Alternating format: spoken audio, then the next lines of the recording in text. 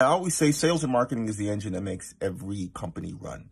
That's why I always, once a week, I discuss something about marketing because it's that important.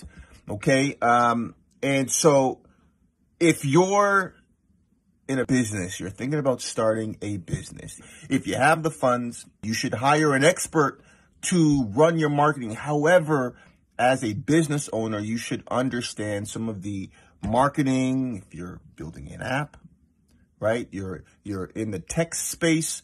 Matter of fact, if you're building a company in 2023, you should understand digital marketing, period. You should understand at least the basics of digital marketing, CTAs, value ladders. This is information that, that you should make sure that you invest in.